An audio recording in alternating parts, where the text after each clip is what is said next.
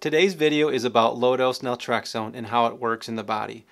More specifically, I am going to go through the pharmacology of low-dose naltrexone and what receptor it interacts with. If we are meeting for the first time, my name is Dan. I am a pharmacist at MD Custom RX, and I have been an independent pharmacist now for 19 years. If you stick with me to the end of today's video, I will be sharing with you one very important tip for those that are either on low-dose naltrexone or considering to starting it. Let's get into today's content.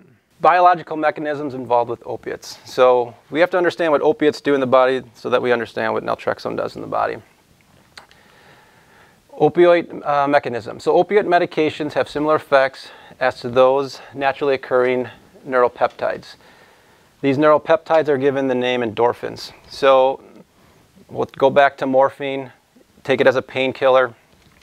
We don't have that pain perception anymore our body is naturally producing its own painkiller.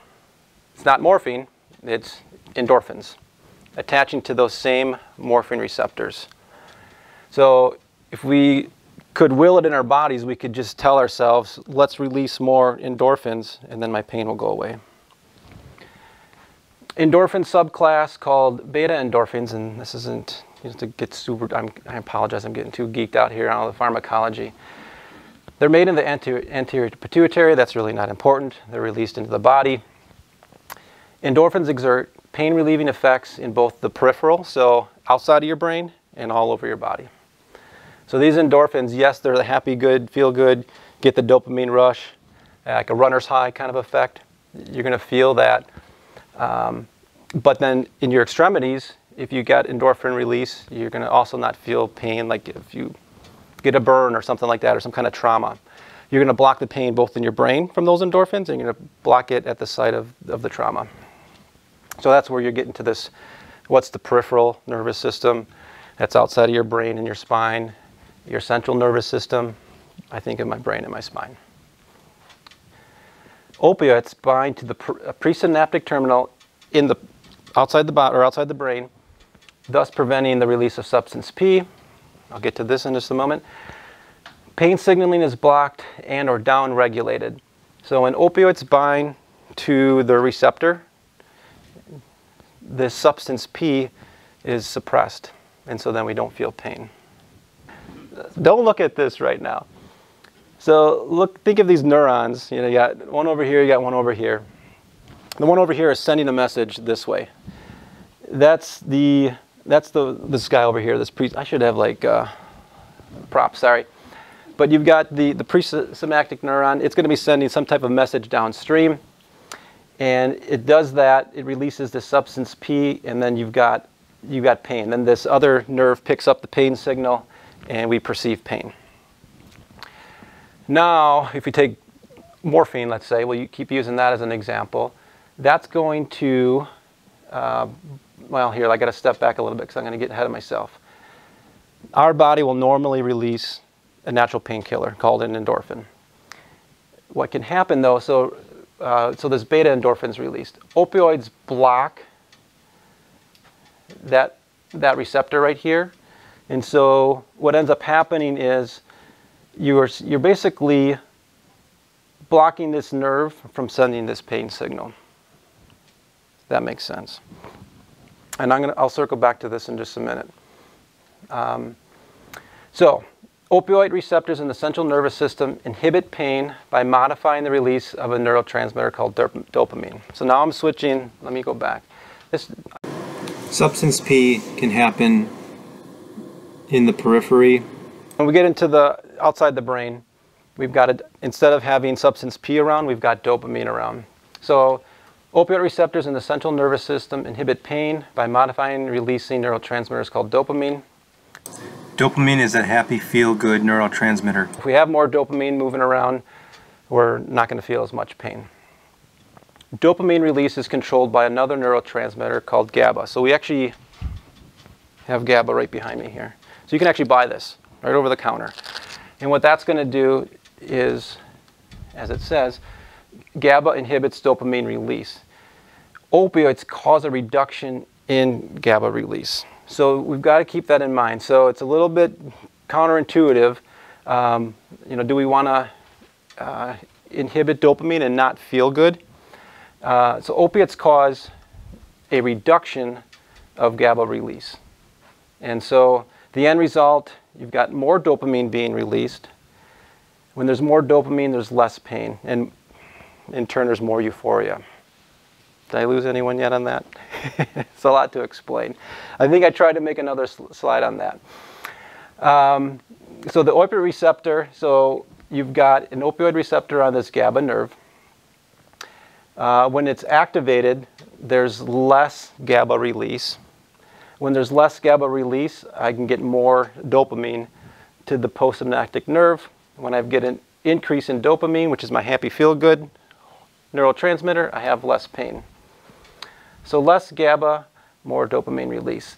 Now you would think less GABA, more dopamine release. So why am I taking more GABA? So I don't want to get into that tonight, but you can just take GABA. It's an inhibitory neurotransmitter that just gives us a calming effect. It's not going to make you feel more pain. I can tell you that. But we're not going to get into that mechanism tonight. When I talked about morphine, think of morphine as an activating drug. It's going to block or it's going to activate that receptor and it's going to cause pain reduction. So that's what I call an extreme activator. It's going to think of it as a lock and key. Here is your, your morphine. It's going in and entering into the receptor, and now we don't feel pain anymore. But we also get a high from that too. A partial agonist, it slightly activates this receptor, but not to an extent like we'll keep using morphine as, uh, as the as example. An antagonist has no activation, so it might actually enter into the key, and we might think it's going to have an effect, but it just sits there and doesn't open up the lock. So that's, that's blocking the pain signal, or I shouldn't say it's blocking the pain signal. It's blocking whatever action we might be wanting it to do. So just keep, keep that in mind and keep in mind what a partial agonist, it, it somewhat stimulates that receptor. It doesn't do a great job, but it, it moves it a little bit. So endorphins are agonists, and think of endorphins as, as activating, and that's a good thing. Morphine, and there's a lot of other drugs that are out there, are also agonists but they do come with side effects, and we know that. We will talk a little bit about that. Naltrexone and naloxone are both antagonistic. They block that receptor. So now your endorphins can't attach to that receptor, nor can morphine attach to that receptor. So you'd think your actually your pain would go up. And in theory, your pain could go up a little bit. endogenous opiate peptide activity. So morphine activates, causes pain to not be transmitted. Let's just keep it simple. These peptides, endogenous peptides, these endorphins, they, I mean, they're all over the body. Uh, they act as a neurotransmitter. They regulate growth. They improve cell repair. They stabilize the immune system. They give us this overall sense of well-being. Again, I kind of think of that runner's high effect when we're just exerting ourselves extremely, you know, to a high physical level. That rush of endorphins is giving you that, that high. It's, it's causing that dopamine to be released as well in our brains. There are subtypes of these opioid receptors. So yes, they're helping to control pain, but they're helping to control a gazillion everything, every, things in our body. So there's not that again that this matters. There's four different subtypes. There's different levels of them at different areas of the body. We have mu receptors, delta, kappa, and this OGFR, which is this opioid growth factor receptor. That's important to note because when you get into things like cancer, building bone tissue, that's where that receptor comes into play. So understanding, I'm going to just give a general overview of naltrexone now. It's a non-specific, so here, uh, kind of some take-home points. It's a, it's a long-acting opioid receptor antagonist. Can bind to all four different receptors, opioid receptors in the body. However, at low dose, this long-acting effect of this drug goes away. So that's a take-home point. Uh, other pharmacists, other doctors, they might say, Naltrexone doesn't have that ability to just attach to one receptor for only four to six hours. Well, if you look at the pharmacokinetics of a 50 milligram or 100, 200, 300 milligram dose of naltrexone, That's true. It sits on that receptor for a very, very long time. Unlike most medications, naltrexone has a bit of different pharmacology and kinetics with it at lower dose. Don't know exactly why that is. It is what it is at this point. What we, what we can say that we know, when you're under about six milligrams, you only get about a four to six hour blockade of that opioid receptor. It's a very short period of time. And that's one of those things to kind of keep in the back of our mind is that this drug is only working in our body for, again, at best six hours. Uh, decreases inflammatory cytokines. I talked about this already. It's approved at 50 milligrams. And the molecular weight, not that this all matters, uh, except for patients that are using this topically. Naltrexone can actually penetrate the skin quite easily. So anything under 500, you can run that drug through the skin. Um, you don't even really have to use um, skin penetrators. So this one is well below that 500 mark of molecular weight. So we actually use, and we'll see this later on in an application, you can actually use low-dose naltrexone in a topical cream to help with itching, psoriasis, those kind of topical inflammatory issues. Mechanism, mechanism of action for low-dose naltrexone. So many diseases and expressions are a malfunction of the immune system. So these opioid receptors, again, the different subclasses, all over white, different white blood cells. They're, they're over our thymus gland.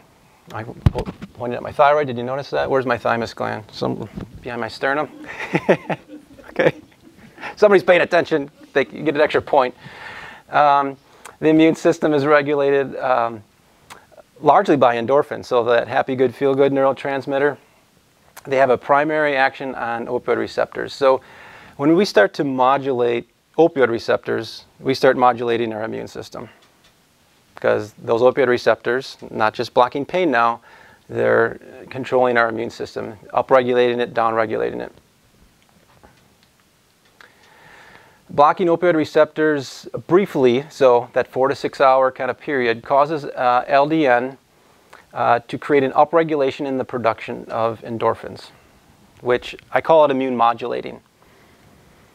When LDN sits on that opioid receptor for only four to six hours, essentially what's happening in the body really doesn't know what's going on, in my mind. It seems like, well, you know, there's a certain rate these endorphins that are producing are, are being produced in our body throughout the day and they're being released. And then all of a sudden, you know, there's a signal going, well, where's that endorphin? It's not attaching to the opioid receptor. I'm not getting that little dopamine hit that I want. What's going on here? So the body's like, okay, I'm gonna I'm gonna make some more endorphins. Something must be wrong here. So I'm just gonna start upregulating endorphin endorphin production.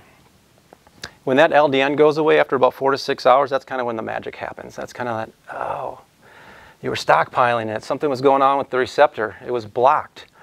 And then that activates the immune system, but not necessarily in a bad way or doesn't overactivate it. It balances it out. So furthermore, cell growth is also mediated by a subtype of endorphins. This has to do more with cancer. So cell growth or cell, in, uh, cell inhibition, cell growth inhibition. And this is a, this application again for some types of cancer. So we're not going to get deep into the into the cancer talk tonight, but just know if there's somebody out there that has cancer, there are multiple different studies that are being done uh, using LDN to actually help improve the chemotherapy that a patient is on. So they can actually lower the dose of the chemotherapy, which is very helpful because a lot of times these chemotherapy agents are very toxic. So we have to be careful with that. That was a lot of chemistry. If you're still with me, thank you. And as I promised at the beginning of this video, here is my one very important tip for anyone considering taking low-dose naltrexone or is currently on it. And that is simply this. Avoid gluten at all costs. It makes absolutely no sense to me why you would be on gluten and naltrexone at the same time. Now, low-dose naltrexone will still work if you're taking gluten or consuming wheat and so forth. However, gluten upregulates an inflammatory pathway in the body. That same pathway, low dose naltrexone is trying to downregulate. So we have opposing forces. Gluten is increasing in inflammation in the body, where low dose naltrexone is trying to decrease inflammation via that same pathway. In next week's video, I will be sharing with you the many health benefits of low dose naltrexone. As always, if you found value in today's content, I encourage you to subscribe to our channel and share this with a, a loved one. Thank you.